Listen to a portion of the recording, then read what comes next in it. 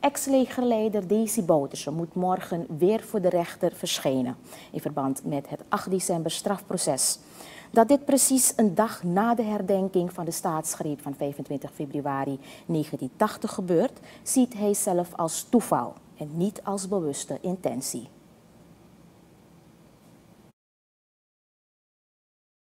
Ik ga er geen speciale kwalificatie aan geven.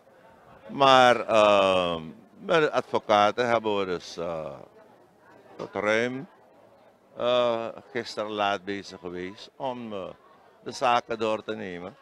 En ik ben iemand, ik neem het leven zoals het op je afkomt. Ik ga er nooit iets negatiefs over achterzoeken. Dus morgen ben ik daar.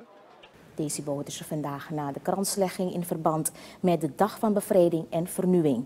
Bij de verdere behandeling van zijn verzetzaak morgen zal raadsman Erwin Kanhai reageren op het standpunt van het Openbaar Ministerie over de bezwaren die hij heeft gemaakt.